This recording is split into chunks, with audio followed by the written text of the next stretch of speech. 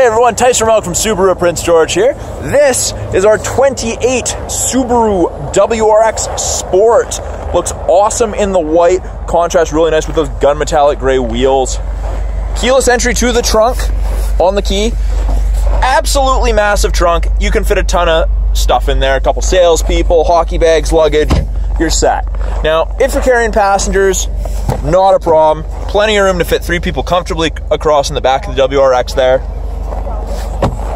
up front.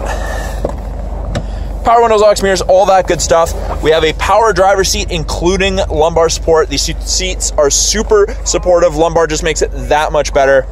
Tilt and slide sunroof. On the inside, auto on-off headlights, fog lights. They are the steering responsive headlights, which are awesome.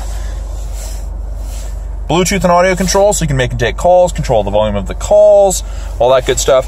Cruise is right here. We have our three different drive modes. Got intelligent, sport, and sport sharp. So normal, go fast, race car mode. That's how I look at it. Pretty cool feature. Up here, several different screens, gives you your climate control, temperature, ranging from 32 down to 18, freezing to tropical, depending how you like it. Shows where your air is coming from. A couple different gauges. You've got your boost, temperature, which way the wheels turned, all that good stuff. AM, FM, CD satellite radio can also hook up iPods or MP3s through the auxiliary USB in the center console there. There's also a 12 volt in there for all your charging needs.